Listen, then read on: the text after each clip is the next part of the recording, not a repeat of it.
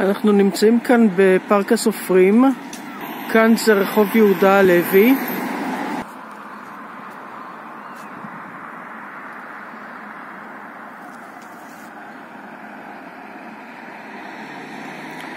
מעבר לרחוב יהודה הלוי מוקמת שכונה על אה, שרידי איצטדיון וסרמיל. השכונה תיקרא קריית גנים. מתוכננים להיות כאן אה, להיבנות כאן 17 מגדלים, בסך הכל אלפיים וכמה מאות דירות. עכשיו שימו לב, הרצף נקטע.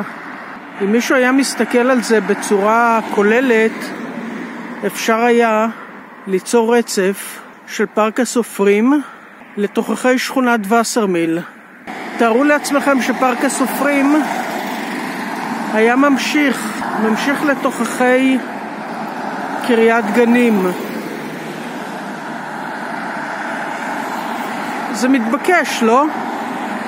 מי שתכנן את קריית גנים ייתכן ולא ראה את התכנון של פארק הסופרים ולא הבין את מה שכל בר דעת מבין עכשיו שצריך להיות רצף בין פארק הסופרים לבין שכונת המגדלים כאן